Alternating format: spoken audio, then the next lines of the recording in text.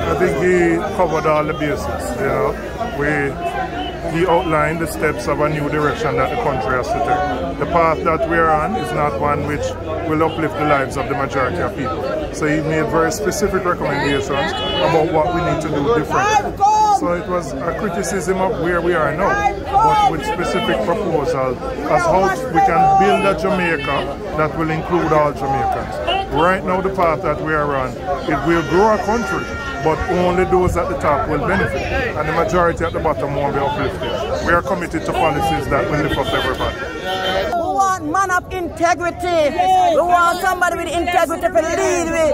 We don't want nobody come from flip flop and promise we're not gonna give it. We need a strong leader. It was a broad and general presentation, touching on a lot of areas, but I think it lacked substantive um, and meaty present, um, presentations of elements that people could hold on to as being achievable and something that really would represent a hope.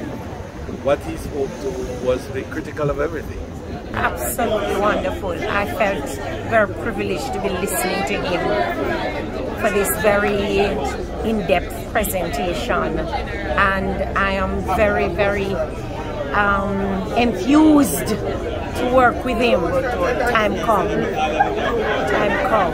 The presentation was simply awesome. It, it went from the economic, the social, cultural, creative. It spanned the whole gamut of Jamaican society. This man intends to remake Jamaica and remake it for Jamaicans. He's proven his track record as an attorney, leading commercial lawyer, a proven investment banker and now he wants to turn his skills to lifting Jamaica. He is about lifting up Jamaica and, and not, not himself.